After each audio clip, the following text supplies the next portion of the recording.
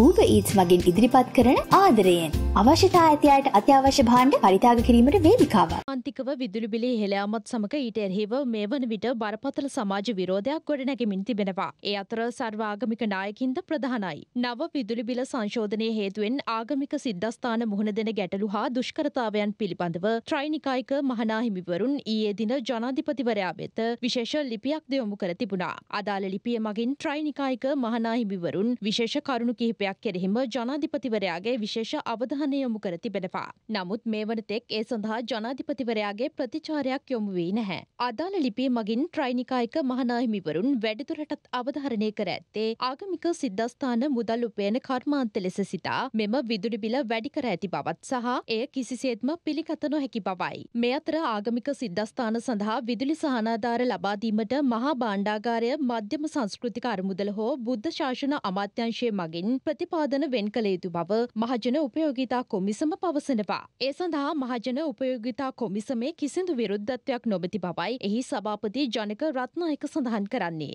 ප්‍රතිපාදන වෙන් කර ලංකා විදුලි බල මණ්ඩලයට ලිඛිතව දැනුන්දීමක් සිදුකිරීමෙන් අනතුරුව එම විදුලි සහනාධාර ලබාදිය හැකි බවද සභාපතිවරයා සඳහන් කළා. ඔහු වැඩිදුරටත් සඳහන් කළේ දිලිඳු ජනතාව හා ආගමික ස්ථාන ඇතුළු තෝරාගත් පාර්ශව කිහිපයකට විදුලි සහනාධාර ලබාදීම සඳහා රුපියල් බිලියන හැටපහක් ලබා දෙන්නයි කළ ඉල්ලීමට මහා බාණ්ඩාගාරය කිසිදු ප්‍රතිචාරයක් නොදැක් වූ බවයි. ඒ හේතුවෙන් මේ වන විටත් සියලු විදුලි පාරිභෝගිකින්ට සමාන ප්‍රතිශතයකින් විදුලි බිල ඉහළ නංවා තිබෙනවා.